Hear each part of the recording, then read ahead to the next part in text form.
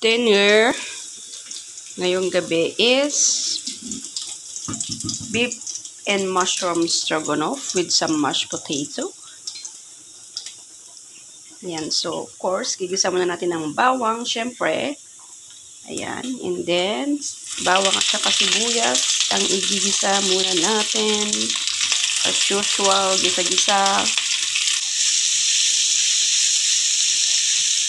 So, ayan mga kapatid again. Itong recipe nito is recipe ng Just Cook.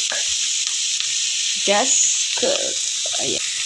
Ayan yung mushrooms. Meron tayong mushrooms dito. And ito bell pepper. Ito is uh, optional lang po.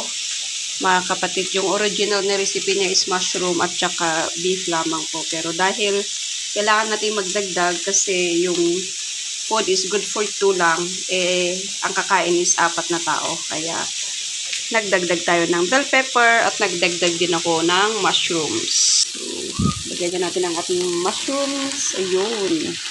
Favorite ko nila ang mushrooms, mga kapatid. Kahit anong luto, may mushrooms. Kahit wala yan sa sa recipe yan, maglalagay at maglalagay ka ng mushrooms. Especially yung amo kong babae. Kunting olive oil lang yung nilagay ko kanina, mga kapatid. Kaya, magdadagdag ako ng butter. Yan. Yan. Butter. Kunting butter. So, lalagyan na natin ng ating yan, capsicum or bell pepper. Paprika powder. Ang tomato paste. Ating Worcestershire sauce. Kunti lang mga kapatid. Yan. Tapos magdadagtag tayo ng ito is chicken stock na na-dissolve na siya sa hot water. Ayan. So, control-control lang para ito ilalagay. Itong matitira is ilalagay natin ito mamaya sa beans. And then, konting lalagay tayo ng cooking cream. Ayan. And then, ilalagay na natin ang ating sliced beef. Ayan. So, malambot po ang karne pagka hindi po siya overcook, mga kapatid. Lalo na pagka beef. Napapansin nyo, mga kapatid, ayan o, oh, hindi na siya red. Nag-brown na siya. Kaya, so maglalagay na ako ng flour na ninawnaw sa, ano, ninawnaw sa tubig. Pampalapot. Ang tawag doon. Yan, para yun ang pampalapot sa sabaw niya. Ayun. Yan.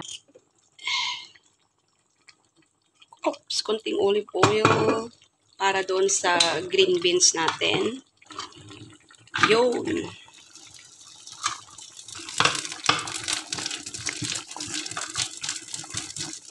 But blurred na siya.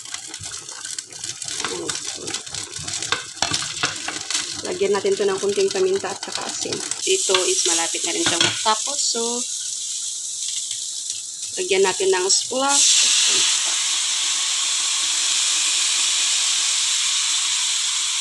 Ayan, so ready na ang ating beef and mushroom stroganoff. Ayan. Gustong-gusto nila yung ganito mga kapatid, yung meron siyang kunting gravy. Lalo na pagka mashed potato yung partner niya. Ayan. Ito naman is yung potato. Alam nyo yung sa kanila mga kapatid. Kahit walang kanin, basta may patatas, mabubuhay po sila. Ayan. Hindi, iba sa atin is kanin is life, sa kanila is potato is life. Yung potato, imamash na natin. So, kunting butter. Tapos, kunting cream.